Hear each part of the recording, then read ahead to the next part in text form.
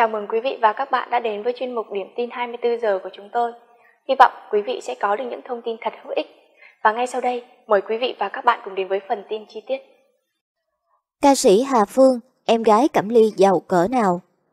Sinh ra trong một gia đình truyền thống nghệ thuật tại Bình Định, ba chị em Cẩm Ly, Minh Tuyết và Hà Phương đều theo đuổi đam mê âm nhạc.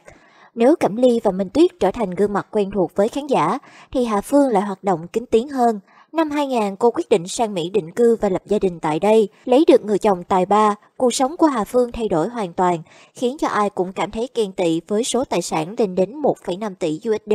Hà Phương được mệnh danh là người Việt giàu nhất thế giới. Tỷ phú Chỉnh Chu, chồng của Hà Phương sinh ra trong một gia đình nghèo. Nhưng bằng nỗ lực và tài năng thiên bẩm của mình, Chính Chu đã vươn lên trở thành tỷ phú gốc Việt giàu nhất tại Mỹ. Hiện tại anh có trong tay khối tài sản hơn 1 tỷ USD, ngang hàng với nhiều tài phiệt nổi tiếng trên thế giới. Anh nổi tiếng với loạt phi vụ mua bán sáp nhập trị giá nhiều triệu đô. Chính Du giúp cho tập đoàn Blackstone hoàn thành nhiệm vụ đầu tư sinh lãi với giá trị hàng tỷ đồng. Song đình đám nhất phải kể đến là vụ nắm quyền kiểm soát tập đoàn hóa chất Celen của Đức trị giá lên tới 3,8 tỷ USD.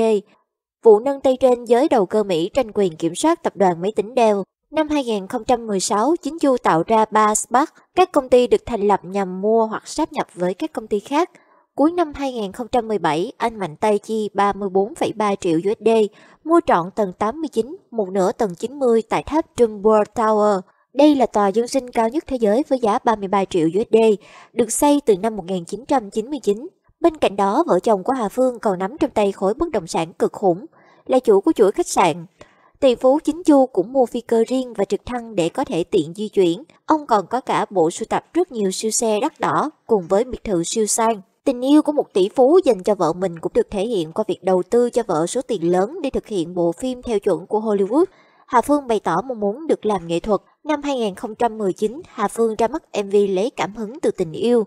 Được biết, MV phát hành trên 100 đài truyền hình trên toàn thế giới, cán mốc triệu view chỉ sau vài ngày ra mắt. Ngoài ra, trang phục của ca sĩ Hà Phương có thể lên đến 1,2 tỷ đồng cho một bộ trang sức ngọc trai, đi cùng với đồng hồ đắt tiền. Giàu có là vậy, nhưng Hà Phương lại không phải là người có tính cách khoe khoang. Cô từng chia sẻ, khoe thì bị mọi người mắng, không khoe lại đem đến sự tò mò. Có máy bay cũng khổ thiệt. Cô từng sở hữu chiếc nhẫn siêu hiếm trên thế giới chỉ có hai chiếc với giá 1 triệu USD. Tuy nhiên trái ngược với hình ảnh sang chảnh của một quý phu nhân vợ tỷ phú, Hà Phương lại là người phụ nữ thuần Việt và rất giản dị. Cuộc sống trong nhung lụa của cô đương nhiên xung quanh sẽ không thiếu những người giúp việc, cô cũng không cần động tay chân vào việc gì. Tuy nhiên riêng về khoản chăm sóc chồng con thì Hà Phương luôn tự mình thực hiện. Tháng 4 năm 2019, Hà Phương đã đứng ra tài trợ 100% chi phí đưa thi thể diễn viên Anh Vũ trở về nước. Chính Chu cũng thường xuyên cùng vợ tổ chức và điều hành các hoạt động thiện nguyện. Hiện gia đình vợ chồng Hà Phương có hai quỹ từ thiện do họ tự sáng lập. Mỗi năm vợ chồng họ đều chi ra hàng triệu USD, giúp đỡ cho đồng bào khó khăn ở vùng sâu vùng xa.